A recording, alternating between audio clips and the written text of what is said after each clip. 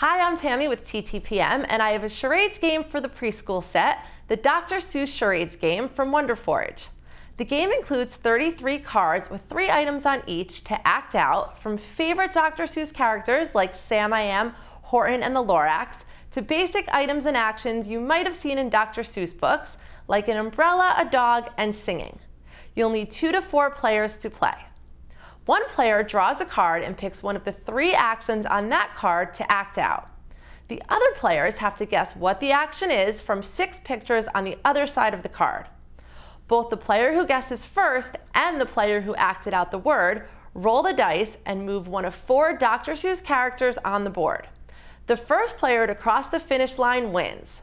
There are, however, some chutes and ladders like twists along the way that can send players forwards and backwards. Recommended for ages 3 and up, the game doesn't require reading, though it could help build both reading and language skills.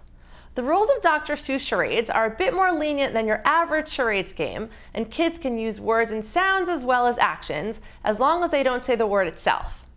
The challenge lies in kids processing how they translate a picture to an action, especially when it comes to acting out Dr. Seuss characters. Acting out the Grinch isn't as easy as it might sound. We think most three-year-olds and even many four-year-olds will need some assistance, even on easier words, though the collaboration will make it fun for the family to play together.